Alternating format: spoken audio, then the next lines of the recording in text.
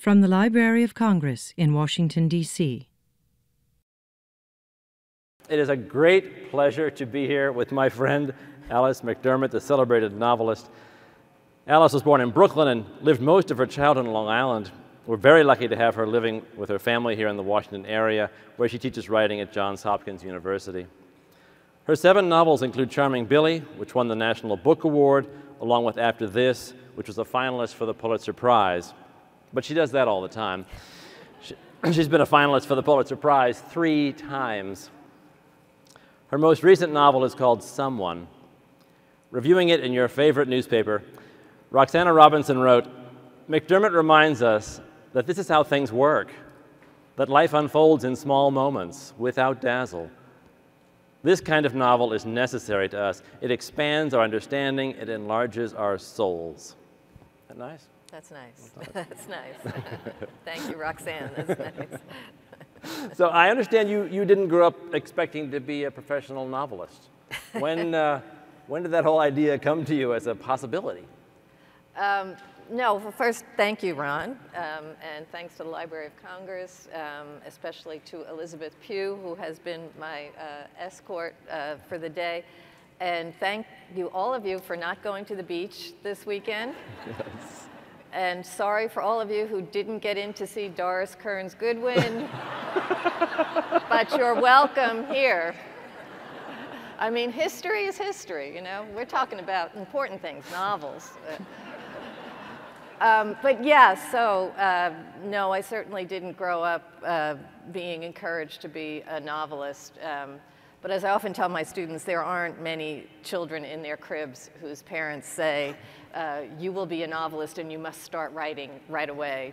Um, I was one of those kids who read a lot, of course, and always wrote stories, uh, kept journals um, in which I would narrate things that never actually happened to me in the hope that someone would find them and be impressed with what an interesting life this seven-year-old has. Um, but nobody, I mean, even though I was always writing and I, I went to an all-girl Catholic high school, um, and in all-girl Catholic high schools in that era, uh, we had skits all the time. What do you mean? Skits, like little plays. You wrote them? And I wrote them. I was the official skit writer. Um, and you know, it was Teacher Appreciation Day. We need a skit. You know, it's sports night. We need a skit. Um, I'm not. I, I, don't know what happened to skits. there were sort of like mini um, comedy routines um, or, or little little situation comedies that you would try to do. Anyway, I did this, and no one ever said to me, "Wow, you like to write," or "Wow, your skit won first place." Um, one nun did say to me, "You know." You could go to Hollywood and write for Carol Burnett. and it was like, I want to be F. Scott Fitzgerald. I don't really want to write for Carol Burnett. Um, so no, it really wasn't until I got to college um, and I went to uh, the State University of New York at Oswego. And I was such a serious student. Um, I chose Oswego because it was, it was rated the number three party school that year. By Playboy magazine. um, so I went and, and I, I went with the intention of being a sociology major because sociology sounded like something you studied in college. Um, and, uh, but liked to re read and write, took some English classes, took a class called The Nature of Nonfiction at the beginning of my sophomore year. Um, and our first assignment was to write an autobiographical essay. So I went off and wrote an autobiographical essay um, about something that, again, never happened. Um, it didn't happen to me, it didn't happen to anybody I knew, but it made a good story. Um, and so I made up this story, used the first person, and, and brought it to this professor. Um, and uh, he was uh, into audiovisual, I'm really dating myself, audiovisual aids, uh, which, which meant um, using a, an overhead projector to, to look at our writing. And, and he would put our words up on this big screen. Um, and with his wax pencil go oh, through every sentence that you wrote. If, oh, you know, if extra words, you need a comma, that should have been a semicolon. It was all there for the whole class to see. So he did this to my little autobiographical essay. And then he said, McDermott, after class, I want to see you. So I thought he was going to say, you know, nature of nonfiction. Um, and what he said to me was, I got bad news for you, kid. You're a writer, and you'll never shake it. It's a monkey on your back. That's when I knew. Nice. Yeah. And you started writing short stories, and you had really early success placing some short stories, right? I did. Um, you know, uh, it, it, seems looking back fairly easily. Um, I was, yeah, right. It's not. Um, and uh, I was fortunate enough. I did go on and get a master's in English at the University of New Hampshire, and I uh, studied with a wonderful novelist there named Mark Smith, um, who told me, "You need it. You know, if you're going to write a novel, you need an agent." Um, and I started a novel, and he said, "Okay, I'm sending you to someone who I think is one of the best agents in New York."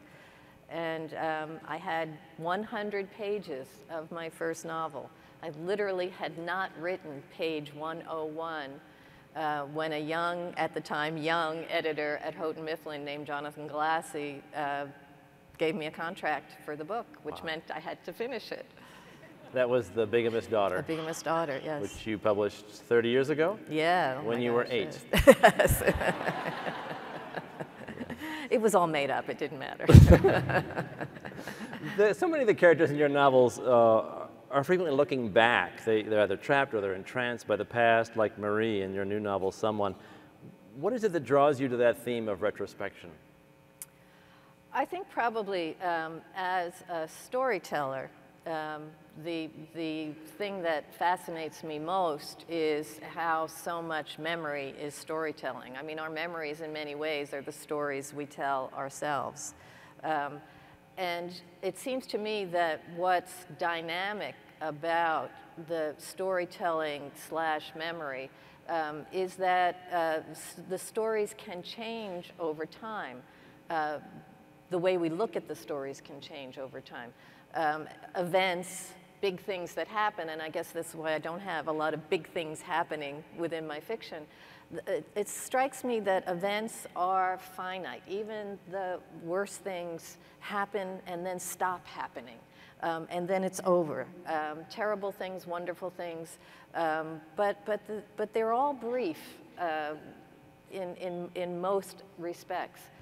But what we have to say about the things that have happened to us, um, continues and changes. And to look at an event that happened yesterday, to look at that event five years down the road, to look at that event 50 years later, um, is a different thing. It's an exercise in a different kind of storytelling each time because what subsequent events then change the way we look at those things.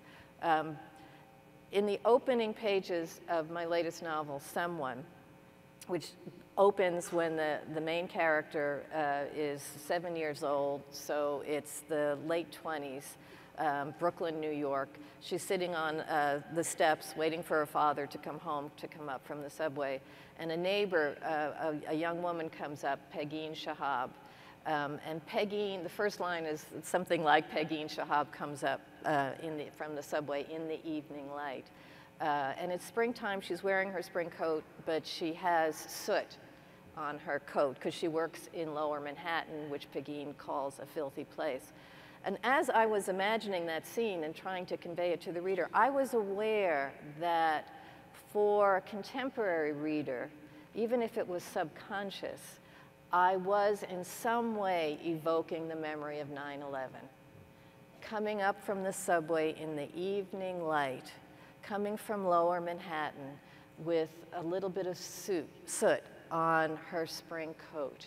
Um, and I don't think that you can be a contemporary reader, and even if you're not conscious of it, not somehow read those words, even though the time in which it takes place is a time way before that happened.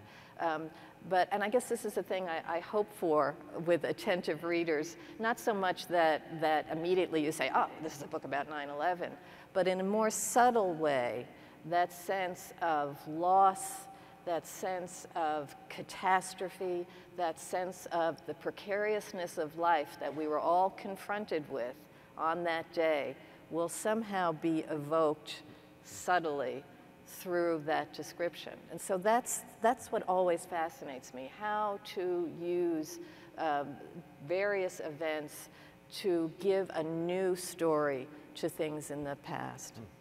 It's something of a cliche that great novelists are born of traumatic childhoods. Did you, did you have a particularly difficult childhood? Is there a lot of trauma you're working through in your novels? Well, see, I'd have more events in my novels. then I could write about the really hot stuff. no, I mean, I suppose the only trauma of my childhood um, was uh, that nobody let me complete a sentence. Um, I had two older brothers and a father with lots of opinions about things. Um, and, you know, at the dinner table, I never really got to say, I would say, hey, here's what I think, and that's about as far as I would get. Um, so in some ways, I think that's probably as traumatic as it got, but certainly the thing that um, drove me to complete sentences uh, in the silence of my own room. Oh, yeah? well, I didn't say that, but I could have. you have an Irish, Irish Catholic background. You frequently write about Irish Catholics. Are you writing, though, out of some sort of autobiographical impulse or just what you know? Yeah, I think it's a little bit what I know. It's certainly, um, I, I, don't feel that I'm writing out of events that, that I've experienced. Your um, family don't recognize events from the book? No, no. Um, uh, when I published uh, At Weddings and Wakes, which was uh, my third novel, but really the first novel that used the Irish American community uh, in, in an obvious way, um, my poor long-suffering mother read the book and she said, well, I know this isn't our family, but how will anyone else know this isn't our family? and I was able to comfort her. I went on the book tour and I was reading in La Jolla, California at a bookstore. And the first question at the Q&A, somebody raised their hand and said, is this your family? And from the other side of the room, someone yelled out, no, it's mine.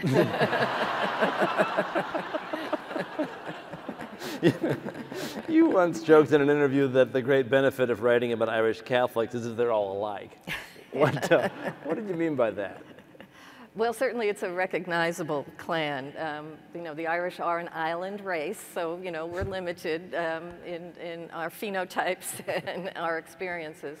Um, but I think, you know, less than the Irishness uh, of it, um, the Catholicism is, as, is uh, what's interesting to me as a writer because it's the Catholicism that gives my characters a language for the spirit. It gives them a language for their interior life. Um, these are characters who would not wax philosophical uh, on life. They're, they're characters who uh, maybe have, haven't spent a lot of time um, in classrooms considering uh, the big questions about life. Um, but having been raised in a faith tradition, they have a vocabulary for those things I think we all wonder about and worry about um, and hope for um, and, and dread. Uh, so, so Catholicism gives them a way to talk about that interior life, those dark nights of the soul, or those moments of, of uh, unbelievable joy that are no less joyful when we understand that they are brief and passing. Love and, and children and family. Um, uh, so it's the Catholicism that, that gives these characters a way of thinking about those essential truths. But for me, it doesn't shut down the conversation. Um, having characters who have a faith tradition for me doesn't mean then that they don't doubt, that the faith doesn't often fail them, that what they believe at one time in their lives they might not be able to uh, evoke in another situation. Mm -hmm. um, so it gives them language, it gives me language to lend them, um, but I don't think it closes off, and I think that's a misconception about uh, characters and maybe even human beings um, who are of a faith.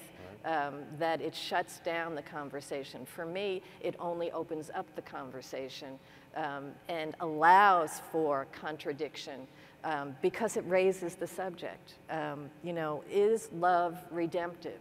Uh, that is not a question that will often get asked, but it must be asked within the faith tradition because that's what the faith is based on. Why is religion such a taboo subject still when we can write about literally anything? You don't see religion showing up in a country that is so religious, where people do worship regularly.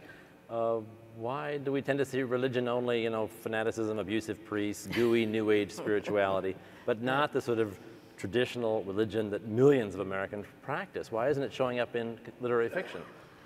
You know, I think we're afraid of it. Um, I think there, there is a sense, um, I certainly have experienced it um, in interviews, that when you say, oh, yeah, well, yeah, I still, you know, yeah, I'm kind of a practicing Catholic, you know, and you can see whoever the interview, not you, but you can see, you know, in that eyes, not as bright as we thought she might be. You know? she's still hanging on. She hasn't seen the light, you know. not very um, sophisticated. Not very sophisticated. oh my God, you know. Now what am I going to ask her? you know. um, you know, so there's a self-consciousness consciousness about that. Um, and, and again, I think there's also this, you know, perception that, uh, that once faith comes into it, everything else falls away. Um, that there, there can't be a questioning, there can't be a contradiction. Um, someone asked me recently about a, a character in someone um, who left the priesthood, um, and, and the way she put the question was, he left the priesthood, which means his, he lost his faith. Um, and I thought, no, gosh, no, he left the priesthood, but, you know, can you lose your faith permanently? Um, do you say, I don't believe anymore? I'm finished. I don't have to think about it anymore. Um, poof. Poof, it's all gone, you know. Um, to reject, in his case, uh, Roman Catholicism, but I think any faith, especially one that, that you are raised in, to dismiss it outright. Um, you just think about Christianity. Well, so then uh, all, all the religious art, dismiss that. Religious music, dismiss that other people who still believe, dismiss them. Um, it doesn't, it's not that simple. It's not that easy, lost and found. Now I got it, I don't have to think about it anymore. Now I lost it, I don't have to think about it anymore. There's so much in between. I love the way you explore that in your books. I think it's Thank you. almost unique in American fiction. Uh, let's talk about plot. Yeah, yeah. Like most people, I turn to your novels for the car chases, the explosions, and the sex scenes.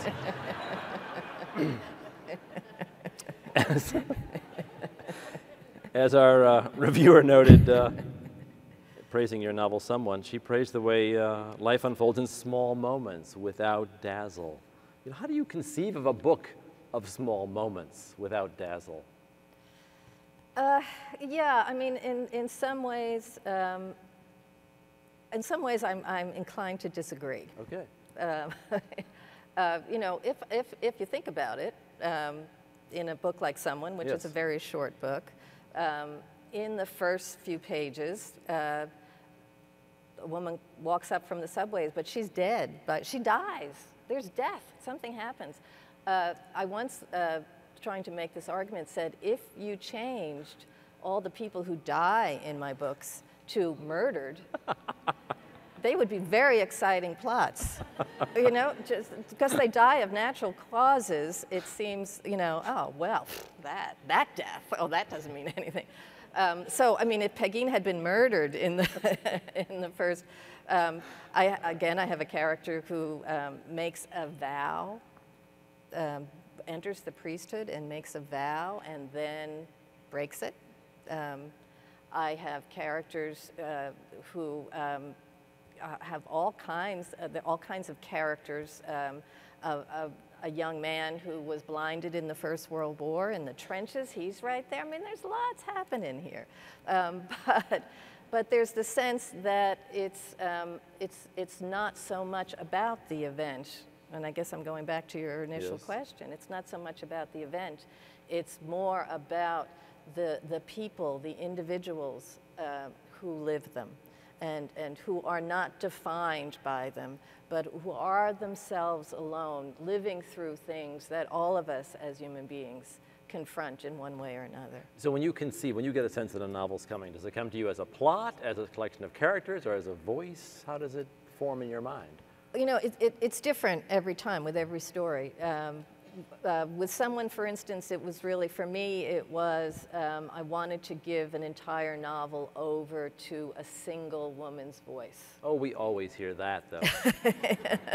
no, why, Oh, yeah, all those single women's voices that are just crowding the bestseller list. why, why was that so important to you? Well, part of it was, I mean, it was two things that worked side by side. I can't say that one was more important than the other. Um, one was that I thought of a character. Okay, here's a woman coming of age over the course of the 20th century from a working class immigrant family. A woman who comes of age at a time when people said men don't make passes at girls who wear glasses. And it was not ironic, it was, it was life advice um, where, where your goal was to marry, to, to, to find the, the security of a family, where your opinion was not much asked for. Um, that was the 20th century. That was the reality for a lot of women coming of age through the 20th century. Um, so here's a character with a vivid, as we all have, a vivid interior life um, but coming of age at a time when not many options were, be, were open to her.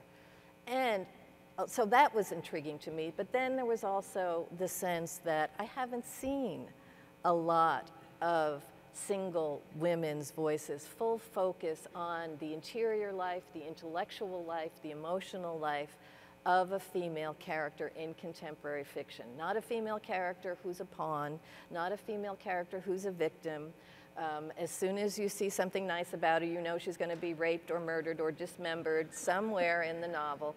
Um, but sort of to give the attention, I mean, this goes back to the sort of Willy Loman, attention must be paid.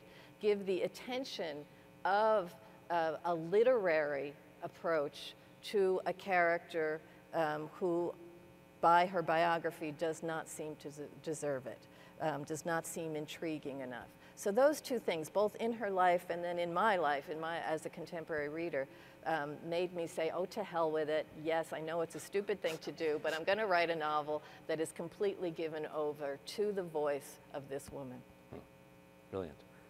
There's been a fairly intense debate recently about the amount of critical attention lavished on men writers and female writers. Uh, your first novel was reviewed by Anne Tyler. You've had other novels reviewed on the front of that other East Coast newspaper's book section.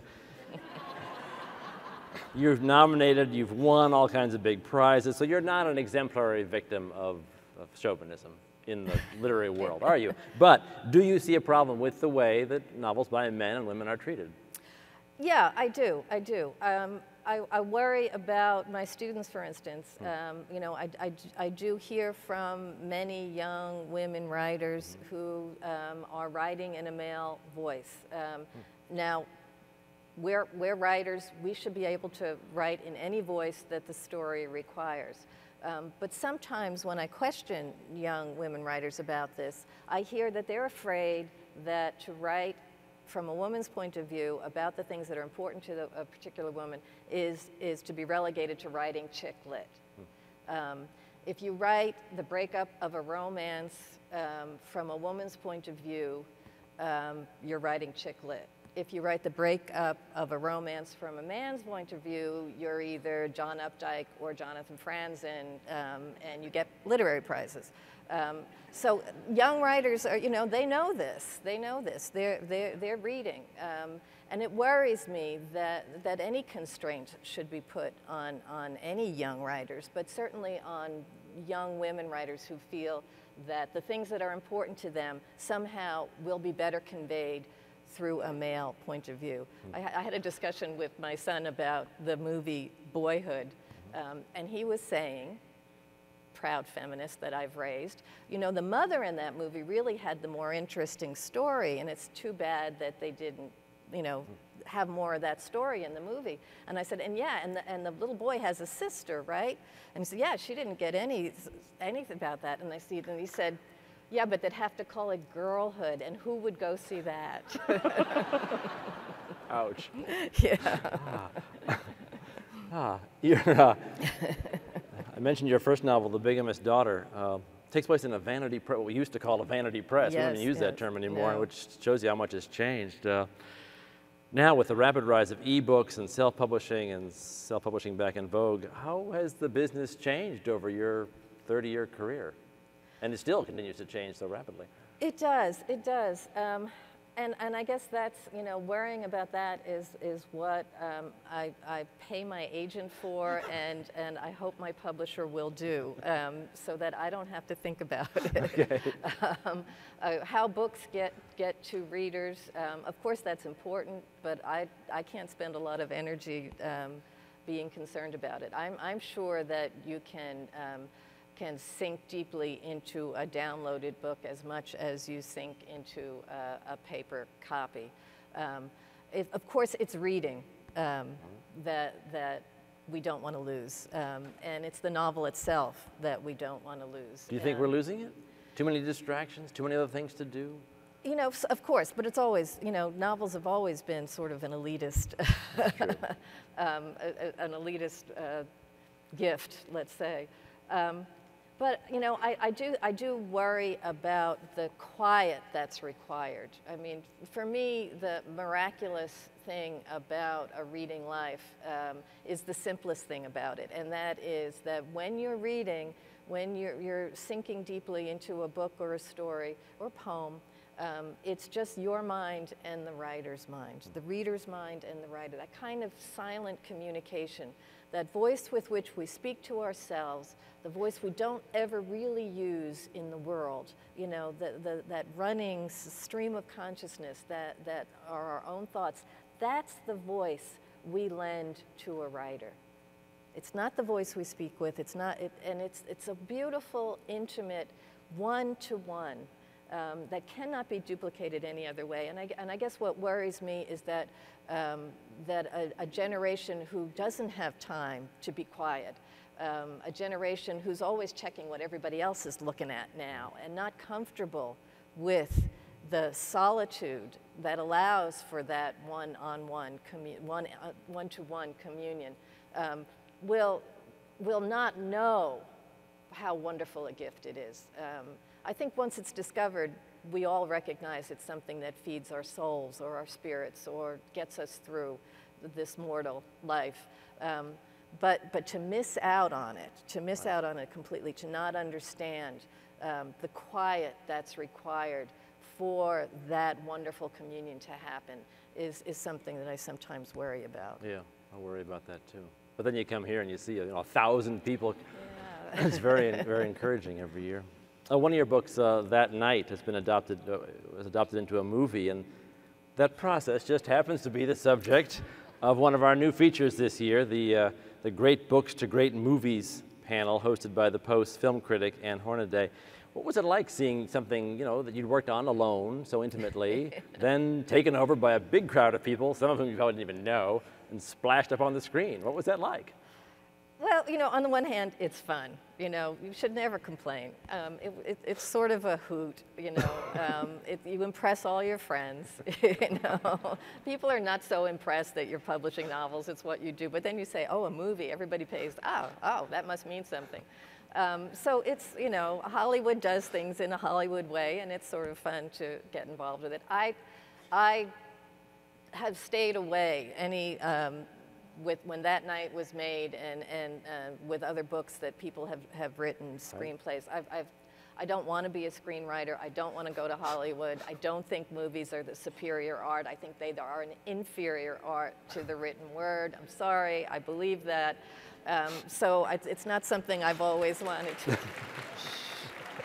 Don't tell anybody I said that. They do have more money in Hollywood than they have in publishing.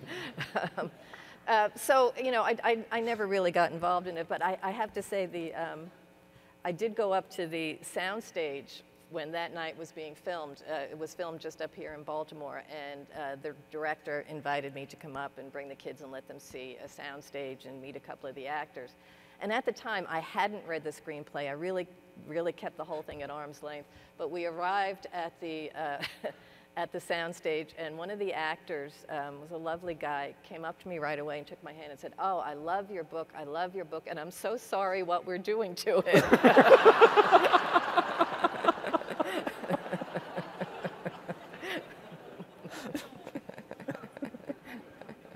That's great. Uh, would you take some questions from Please, the audience? Please, certainly, certainly. Uh, there are two microphones, one on this side and one on that side.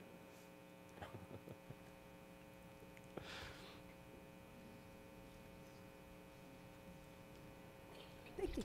Alice, I first discovered your fiction 11 years ago when I read your charming book, A Child of My Heart. I fell in love with it because your protagonist's name was my name, Teresa, and I was a Catholic, and I related so much to her summer of growing up at age 15. How much of you is in that character? Is it just the way you write that, that young girl on the cusp of maturity and what she has to go through as a babysitter and experiences? It, it's just, you felt, it feels like you put yourself so much into her.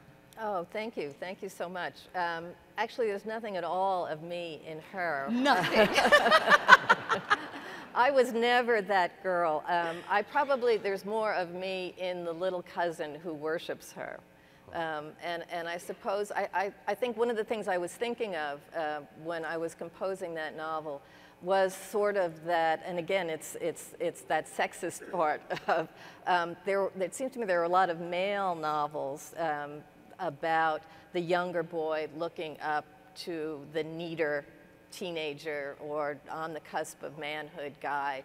And, and we understand that relationship. But I had seen enough in my own life, and I had experienced as a, a, a little girl looking up at the teenage girls who you know, were better than adults because they, they would talk to you and they were closer to you, um, but seemed to inhabit a magical world. Um, so I was never that. I don't, I don't know that I, there were any kids ever looking. I was too short. They, nobody was ever looking up to me. But I understood that feeling of, of looking up at someone who seems to have entered that magical realm. So it was interesting for me to then write first person from the point of view of that, that admired teenager who I never was. it's a beautiful book. thank you, thank you. Um, you spoke a little bit about writing in a single woman's voice and um, kind of the worries that people have about the perception of women's voices being dismissed as chick lit. Um, but I was wondering if you've like seen any progress being made, or over the course of your career, if that's changed at all the way the public perceives that and the literary world perceives that. I mean, I guess the thing that discourages me is I, I feel like this is a fairly recent phenomenon. I, I think we've gone backwards in some ways, and it may be the, the, this whole idea of chick lit, which didn't exist so much um, 20 years ago. Um, but I think, I think feminism has faded just enough. Um, and and uh, the commercial, I mean, it's our culture. You know, I mean, it's certainly not just literature. Um, I don't watch a lot of television, but I know there are an awful lot of dead young women on, uh, being served up as entertainment on most of the major uh, channels. Um, I'm not sure that that was true 20 or 30 years ago. So I think a lot of it is the culture um, that, that women are in some way stepping back, maybe because um, we're scaring uh, the powers that be. So yeah, I mean, when I was a young writer uh, writing about women's things, these feminist writers were really coming into their own. Um, and when I started in graduate school, we were all reading The Women's Room. Um, we were all reading Fear of Flying, you know. Um, what, what, what the feminist writers had to say seemed important and seemed one with the literary world that we were entering. I don't think that's so much the case now for the young writers that I teach. I don't think they're seeing uh, feminism as, as a legitimate part of the literary conversation. So in some ways I feel like we've taken a little bit of a step backward um, as far as acknowledging um, not so much women writers. I, I, I don't think that uh, we have to, women writers have to struggle to find a place at the table, and certainly my career, you know, I'm so grateful for, is part of that. Um, but there is that sense of how many women writers are being read um, because they're writing from a male point of view, or they're writing about uh, the male experience. Um, Marilynne Robinson is a fabulous writer, and Housekeeping was a beautiful book, but Gilead really set her soaring, and it was written from a man's point of view. Yes, sir. Um, pardon me. Um, you reminded me of a book I was reading this winter, The Golden Notebook, which I believe won the Pulitzer Prize. Um, and um, that was about uh, British communists and fighting in the um, World War II in South Africa. And um, that book had, there were several different books besides the Golden Notebook in the novel. And I was wondering, you're talking about a male voice versus a female voice. Um, she had several different books for her different voices, and I was wondering, wondering if you ever had, um, you know, a point of view where you you felt like you were torn and you needed to go at it from more than one perspective for the same character, or you know. Yes, certainly. And the Golden Notebook, again, it was part of feminist reading um, when I was uh, sort of coming of age as a writer, very much so. Um, yes, I have. And, and again, I, this, the thing that makes me uncomfortable about this whole conversation is that there should be no rules. you know, uh, women writers shouldn't feel compelled to write from women's points of view, um, and male writers shouldn't feel hesitant to write from women's point of view. I mean, you need to write the demands of the story and the character are essential. Um, I did, um, and after this, I did, uh, I've, I've, written from male point of view, and that story needed male points of view. That story sort of needed to circulate among the various characters uh, that the novel was about. And it, I didn't think twice about entering uh, the points of view of the male members of that family. It was essential to the story. I did, however, writing someone, occasionally think, and this was just my own lack of courage, nothing else, that, you know, I've got some male characters in here who have had really interesting stories. You know, one is the guy who becomes a priest and then he leaves, and I don't know, does he have sexual things? That, that might be interesting. Um, Marie marries a man who was a POW um, at, at, at the end of the Second World War in a camp in the Baltic. And every once in a while, I think, boy, I could really show them what a writer I am, you know, if I would just, you know, leave Marie for a while and, and give the guys a chance to talk. And I realized, but I would be undercutting exactly what I set out to do. Well, Miss McDermott, just remember um, Adidas, all day I dream about sex. so you might want to do that. Thank you.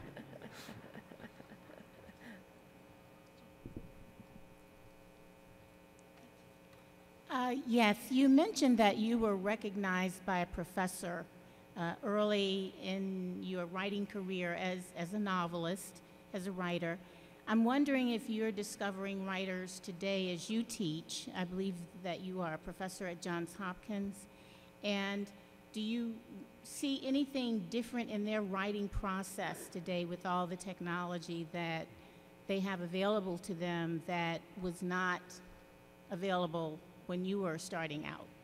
Thank you. Yeah, um, I certainly do um, recognize wonderful young writers. It's one of the great pleasures of, of teaching um, in an MFA program like Hopkins. Um, uh, I don't think the technology uh, has much influence. At least I don't. I don't recognize anything yet um, that that has changed.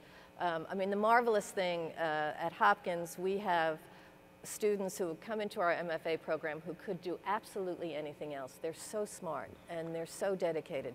They could be lawyers, they could be doctors. They, they have the world open to them given their talents and their intelligence, and they want to write literary fiction. Some of them even want to be poets. you know, I love it. I love it. It's so encouraging, and they do, and they want to be writers because they have read works that have changed their lives. They have felt the thrill of being, of lending their inner voice to a great writer, and, and they have experienced that.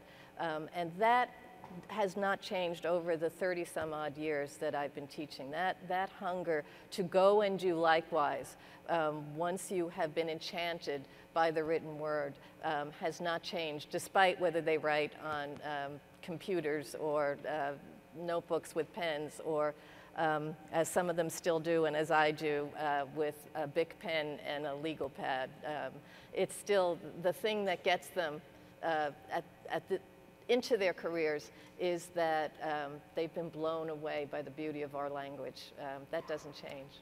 Wow, wow. Thank you so much. It's Thank been you. great to talk to you. Thank you. Thanks all for being here. This has been a presentation of the Library of Congress. Visit us at loc.gov.